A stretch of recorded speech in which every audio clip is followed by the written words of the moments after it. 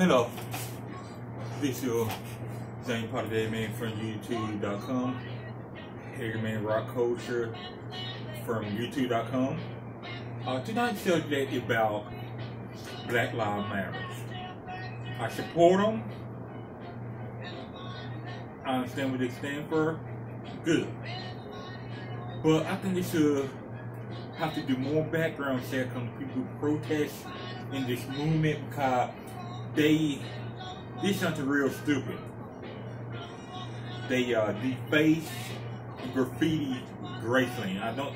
I think they they didn't did the house, but they did the outside security wall or uh, wall that means the place look good, the beauty wall or uh, something like that, security wall, and they um spray painted uh, BL, BLM on the wall, Black Lives Matter, and to my understanding, why would you want to do something like that? Uh, look like Elvis Presley always have been good toward black people. To my understanding, he bought uh, two Cadillacs for two black women during the 50s and 60s and for many other people.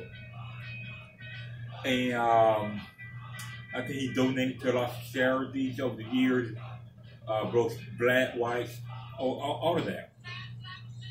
But what do you think by doing all this graffiti, defacing stuff, how do you think they're going to help the Black Lives Movement? To me, that would make it people turn against it.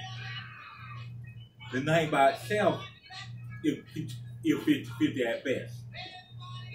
Uh, I do mean most people who do support it are actually white people, but the younger, younger crowd.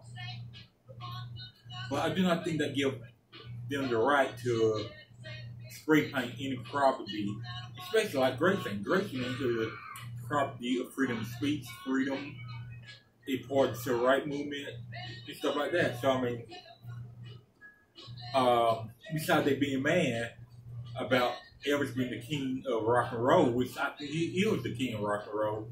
And some people say he's not. Some people say you're the richest. Some people say he's Chuck Berry. Some people say he's Fat Dominoes. But either way you go, uh, in my heart, yeah, Elvis. But what good or what can you achieve by uh, defacing or graffiti Graceland? I mean, you have people, yes, they're right, Democrat who for Elvis will say, no, I, I don't want to vote. I won't vote for, you know, the other guy, but I won't vote for the guy y'all want. Or I will start supporting your movement because getting out of hand. Uh, lots of moves that start off good turn bad. I know I've done a video about this before. The KKK was actually a good thing when it started off, then turned bad. Uh, the skinhead, I think that was actually a good thing. I, correct me if I'm wrong. Yes, you heard, you heard me, the skinhead. Uh, I think they still got another uh, skinhead group called Sharp. I gotta look at that. I think they still good, but they started off bad. I mean, good, and they and they turned bad. So uh, hope you can hear me over the music and all the things after this wrong. But my opinion, what you actually gain by defacing images makes up anybody's property. Understand you might attack a Confederate statue, Nazi statue, something like that, right? But what next? Um, Mount Rushmore, which does some good about that, there's bad about that. But my next video, I'm going to do um, a video about Mount Rushmore versus Stone Mountain uh, Memorial. If they gonna go, which one should go before either one of them? You know, I'm just saying. You think like any monument, any flag throughout history got a bad meaning to it. If you black, the Confederate flag is a is a bad meaning. If you and then American the American flag, you actually a bad meaning. So what can you do? So uh, just leave your comment, please like and subscribe.